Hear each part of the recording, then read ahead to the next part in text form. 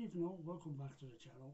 If you're finding this channel for the very first time, please hit that like button, subscribe to the channel, I'd be very much grateful. Now I'm here to do a review on uh, ITV's new comedy drama or whatever you want to call it, I'm not sure. The Larkins, starring Bradley Walsh. Now The Larkins, as we know, as you can tell by the trailer and the program, is a reboot of the 90s uh, Darling Buds of May, which originally was uh, starred David Jason, the legend that is David Jason as Pa Larkins. As I say, this is a reboot, so it's a whole new cast. And this uh, classic drama that we've I certainly have grown up to watch when it first came out, as Darling Buds of May.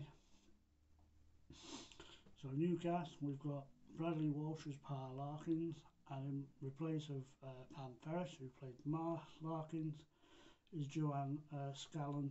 I think that's how you spell, pronounce her name. Uh, like I said, I'm old enough to remember the original series, which I really enjoyed. Uh, I wasn't too sure about this one because when you do a remake or a reboot of something, it doesn't always work. But I thought I'd give it a chance, and I thought it was quite good. It's going to take some getting used to because, like I said, I'm old enough to know the original. I'm always picturing David Jason in that role, but it's not him now, it's uh, Bradley Walsh. And I think Bradley Walsh was quite good. Uh, the woman, Joanne Scanlan, going to take some time getting used to her. Uh, I'm not sure what it is. I don't know if she was trying too hard or, you know, or I'm so used to seeing Pam Ferris in that role. Uh, obviously, again, a reboot. It's the same kind of story.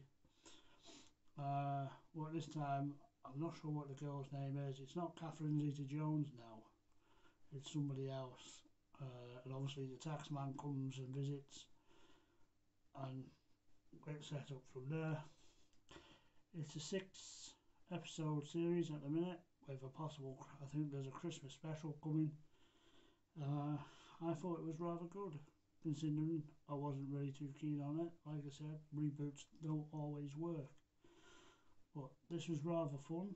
I thought Bradley played the part as Pa Larkin pretty well. Uh, you know, and I think it's a really enjoyable, really enjoyable series. I'm looking forward to the next one. Uh, I didn't think I'd say that when I first started watching this series. What I am, it's uh, a fun little series to get into on a Sunday evening. If you want to just put your feet up and have a chill and watch it, uh, I would recommend it. Uh, so let me know your thoughts. Have, you get a chance to watch it yet? Are you as old as I am and remember the original? Do you prefer the original or this one? Uh, I can't say whether I prefer the original or this one at the minute because it's only one series, but I don't think it'll be as good as the original because I love David Jason. I love the stuff that he goes into. Uh, Bradley Walsh is a good actor. Uh, you know, but we'll give it time, give it a chance to see where it goes and see how it gets on. So if you've got any thoughts about this series, please leave your comments in the comment box below. Let me know your thoughts. Did you enjoy it? Did you hate it? Is it not your thing? Or did you switch off uh, before the end and thought you can't stomach it? Let us know in the comment section below and I'll see you for the next video. Stay safe everyone. Look after yourselves.